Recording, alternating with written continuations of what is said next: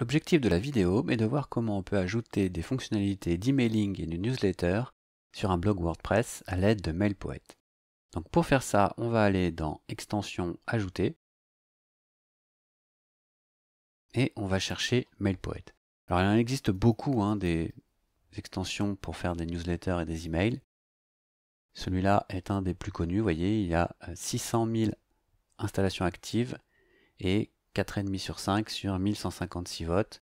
Dernière mise à jour il y a 4 jours. Donc euh, c'est quand même une euh, extension assez robuste. Et puis il y a tout un tas de sous-extensions si vous voulez. Par exemple, adapter votre mail poète à votre WooCommerce. Donc là je vais faire installer. Et je vais faire activer. Ensuite, une fois qu'elle est activée, donc vous voyez ici j'ai un nouveau menu, email, formulaire, abonnement, liste, réglage, aide, mettre à jour. Donc là, on va aller sur les réglages.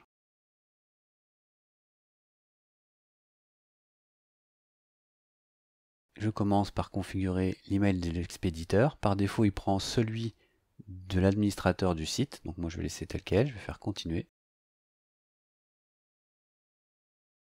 On va autoriser les Google Fonts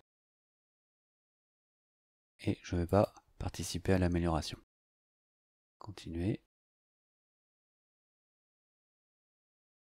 Donc là, jusqu'à 1000 abonnés, c'est gratuit. Donc si vous êtes une entreprise, 1000 abonnés, ça peut être relativement vite fait.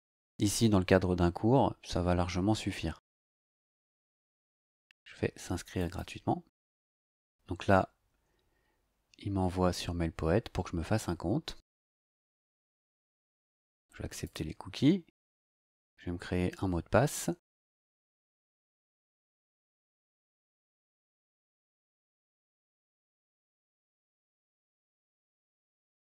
là, je ne vais pas m'abonner à la newsletter. Par contre, je vais cocher comme quoi j'ai bien accepté les conditions d'utilisation de MailPoet.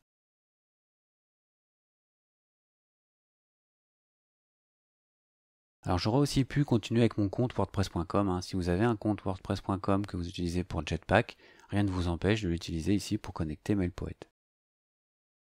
Donc là maintenant, je dois aller checker mon adresse mail pour voir si j'ai reçu l'email de confirmation. Donc ici, je vais sur ma boîte mail et j'ai bien reçu l'email pour activer. Donc je confirme mon adresse mail.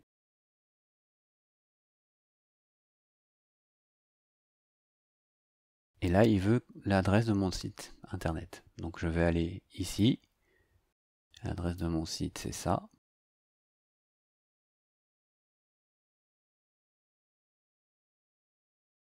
Alors ensuite, il me demande comment j'ai obtenu la liste de mes subscripteurs sur mon site. Donc là, nous, ça sera des gens qui ont acheté. Ça peut être aussi les gens qui se sont abonnés à la newsletter. Et ça peut, très bien être euh, à quelqu'un qui s'abonne euh, dans le magasin physique sur un document qui est hors ligne. Comment j'ai demandé la confirmation à mes abonnés qui voulaient bien recevoir des mails de, ma part? Alors ça, ça va dépendre de comment ils se sont inscrits sur votre site. Pour l'instant, on va cocher I don't know. Donc euh, ça pourrait être, je leur ai pas demandé la confirmation de leur adresse mail ni leur consentement. Alors là, ça serait vraiment pas bon d'un point de vue RGPD par exemple. Ça veut dire que quand quelqu'un s'abonne à la newsletter, non seulement il faut lui faire signer un consentement, c'est juste une case à cocher la plupart du temps, mais il faut vérifier que l'adresse est bien fonctionnelle et que vous pouvez y envoyer des mails dessus. Et là, on va mettre que c'est la première fois qu'on envoie des emails. Donc là, il faut activer le plan. Donc cette clé-là, je vais la copier. Et dans les options de MailPoet, je vais activer.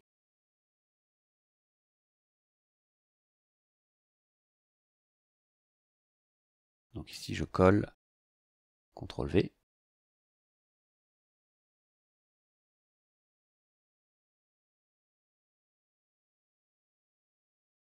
Donc là, ils ont envoyé un email de test pour voir si ça fonctionne. Alors ici, j'ai bien reçu deux messages. Un pour me dire que l'envoi de mail par MailPoet, ça fonctionne. La preuve, le site a envoyé un message que j'ai bien reçu. Ça c'est la première chose. Et puis là j'ai reçu un autre message pour me dire que MailPoet avait approuvé mon compte gratuit. Ok, très bien. Et voilà.